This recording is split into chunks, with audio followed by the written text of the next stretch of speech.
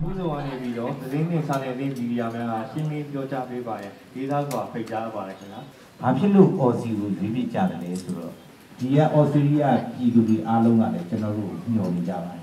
ကျွန်တော်တို့ကလည်းပြည်သူတွေနဲ့တွေ့ရမယ်ဆိုတော့ပျော်နေကြပါတယ်ကျွန်တော်တို့ဒီနေ့ပြုလုပ်တဲ့ပွဲကတော့ကျွန်တော်တို့ဒီ Aussie ပေါ့ Australia နိုင်ငံမှာကျွန်တော် February လမှာကမယ်နင်းစီ February လဆိုတာနင်းလေးတွေရှိနေတော့မယ် အဲဒါကြောင့်နင်းစွတ်နင်းစီလို့နာမည်ပေးထားတာပြည်ပမှာရောက်နေတဲ့သူတွေအားလုံးအားလုံးอ่ะပေါ့နော်မြန်မာ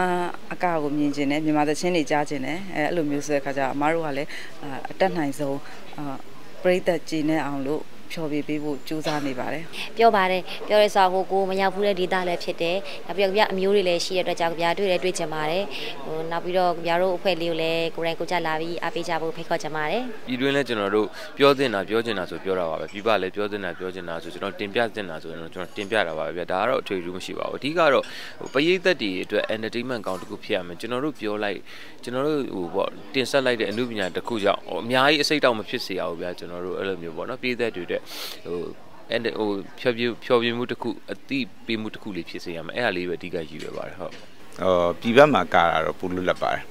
ပူလွတ်လက်တဲ့ဆိုတာတော့ဒါစီမယ်နုပညာဆိုတာကလည်းသိတဲ့အတိုင်းပဲလေကျွန်တော်တို့ကဟိုလွတ်လက်လေးပို့ပြီးတော့ထက်မြက်လေးဆိုတဲ့သဘောမှရှိတာအဲကျွန်တော်တို့ကနုပညာလွတ်လပ်မှုပူသဘောကြပါတယ် အဲတကယ်ကိုလည်းဝမ်းသာပြောချင်ပြီးအတိုင်းမသိလဲရင်ခုန်နေပါတယ်ကျွန်တော်2010တုန်းကတော့နှင်းစီဖွဲ့နေမဟုတ်ပါဘူးပျော်ပြေးရောက်ဖူးပါတယ်ကိုခင်လိုင်းတို့နဲ့ပါဆိုတော့ဒီတစ်ခါနှင်းစီအဲ့ဒီတော့လည်းပြောခဲ့ပါတယ်နှင်းစီဖွဲ့နေနောက်တစ်ခေါက်ပြန်လာမယ်ဆိုတာဒီတစ်ခါတော့စန္ဒာလေးပြည့်ပြီပေါ့နော်ဆိုတော့ကျွန်တော်တို့ညီကိုတွေဒီဒီဇင်ဘာလနဲ့အဲကျွန်တော်တစ်လပိုင်းမှာတော့အဲပြက်လုံးတွေကိုကျွန်တော်တိုက်ကြမယ်အဲပြီးတော့နှစ်လပိုင်းကျရင်တော့ဆွေစီလေးသွားကြမယ်ဆိုတော့အများကြီးတော့ရင်ခုန်နေပါတယ်အော်စီကအဲမြန်မာပြည်သက်တွေလည်းရင်ခုန်နေမယ်လို့ပြောလင်ပါတယ်ဗျာ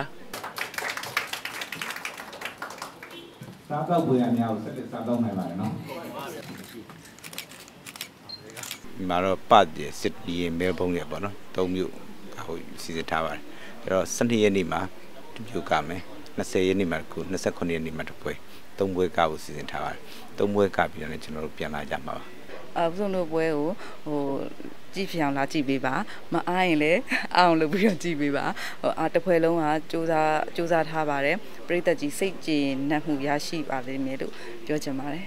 အဲကြပြတို့အဖွဲ့နှစ်လပိုင်းဆိုရင်အော်စီကိုလာပါမယ်အဲဝစီယာပရိသတ်တွေက Facebook တို့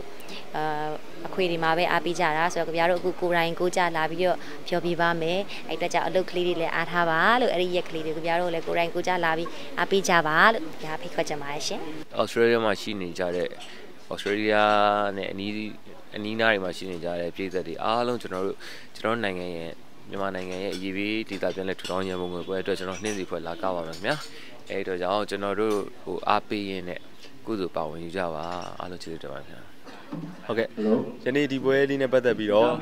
အော်စီနိုင်ငံမှာလာရောက်ကြည့်ရှုမဲ့မြန်မာပြည်သက်တွေအားလုံးအဲစိတ်ချမ်းသာအောင်ကျွန်တော်အကောင်းဆုံးကြိုးစားခဲ့ပါမယ်လို့တွေ့ကြတွေ့ကြမယ်လို့ ဟို online ရပဲအမြဲတမ်းကြည့်ပြီးအားပေးနေရတယ်အခုကျွန်တော်တို့နှင်းစီဖွဲ့သားတွေကိုစီစီလုံးလုံးတွေ့ရတော့မယ်ကျွန်တော်တို့ကလည်းပြည်သက်တွေနဲ့တွေ့ရမလို့ပျော်နေကြတယ်ပြည်သက်တွေလည်းကျွန်တော်တို့နဲ့တွေ့မှဆိုလို့မျှော်နေကြတယ်ဆိုတော့အဲ့ဒီပျော်နေတဲ့လူနဲ့မျှော်နေတဲ့လူတွေနုနုထူထူတွေ့ကြမှာပေါ့အဲ့လေးထည့်ပြီးပါနော်ဟုတ်ဟုတ်ရှီအောင်မင်းသမီးများနဲ့တက်သက်စာလူရှင်တော်များ